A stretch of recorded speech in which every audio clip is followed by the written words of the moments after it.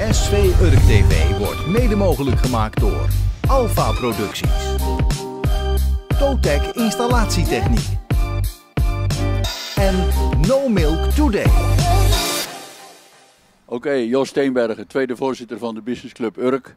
En gisteren is er weer een hele grote groep afgereisd vanuit Urk naar Torremolinos voor een eh, trainingskamp, schuin- een sponsorreis.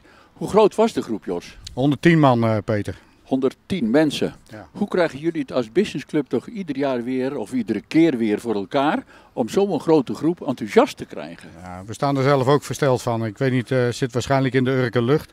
Maar eh, ja, eh, op het moment dat wij zo'n sponsorreis gehad hebben en we zeggen van nou moeten we over een jaartje of twee weer gaan, dan roept iedereen gelijk van over, over twee jaar.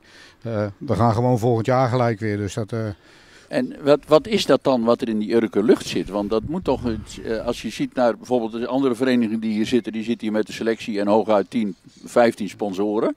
Jullie zitten dan hier met eh, een selectie van een kleine 30 en dan een 80 eh, sponsoren.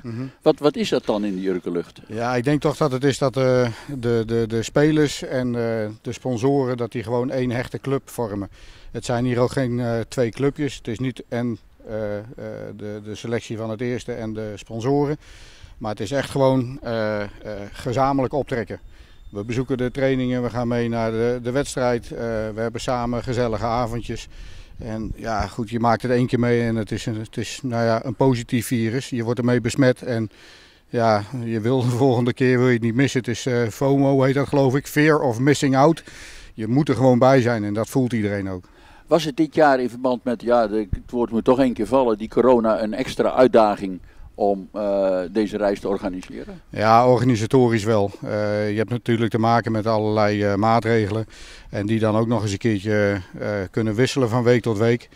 Eh, we hebben wat, eh, wat wisselingen moeten toepassen. Mensen die eh, niet mee konden vanwege ja, een, een- besmetting. Die waren dan niet ziek, maar die, ja, die mochten dan niet vliegen. Nou, dat heeft het team op de achtergrond van, van trainingskampen. Jorien, naam mag wel even genoemd worden. Die, ja, die heeft dat fantastisch opgepakt met ja, onze eigen back-office. Dus dat, dat ging prima. Nou is het woord toch wel even gevallen en in deze moeilijke, ja, moeilijke tijd, ook voor bedrijven, is het jullie de afgelopen twee jaar toch weer gelukt om die businessclub het aantal leden Ja. te laten groeien. Ja, verbazingwekkend, Want hè? Hoe is dat nou dat, dat dat bij jullie lukt, terwijl het de bedrijven het zeker niet makkelijk hebben gehad in de afgelopen twee jaar? Ja, ik denk dat dat eh, deels is de, de sociale betrokkenheid van, eh, van eh, een heel groot deel van de ondernemers met de vereniging. Eh, deels ook denk ik dat het komt omdat wij eh, de, de spelers niet betalen. Dus er is nooit oneenigheid in die club over eh, van ja, we hadden die speler wel of niet moeten aantrekken. of, of moeten kopen of verkopen of, of wat ook. Daar is nooit discussie over. En, en dat maakt dat alle middelen die wij binnenkrijgen als, als businessclub ook gelijk in één keer in de kas van de, van de penningmeester gaan. Dus wij als eh, businessclub hebben zelf ook geen geld. Dat gaat gelijk, alles wat binnenkomt gaat gelijk eh, ten gunste van de vereniging. De vereniging. En ik denk dat, dat, ja, dat sponsoren dat ook eh, fantastisch vinden natuurlijk. Het gaat niet naar allerlei verschillende potjes en, eh, en spelers. En, eh, Nou hebben jullie natuurlijk als businessclub, eh, want ja, jullie zijn toch de grote motor achter deze, deze reis, eh, een bepaalde doelstelling vooraf geformuleerd. Wat is nou, als, jullie nou, als we nou aanstaande vrijdagochtend eh, weer op Urk zijn, eh, wat zeg je dan van, nou dan zijn wij tevreden, want Ja. dan hebben we onze doelstelling bereikt. Ja, de belangrijkste doelstelling is dat we eh, donderdagnacht met z'n allen weer gezond en wel thuiskomen. Compleet, dus iedereen mee.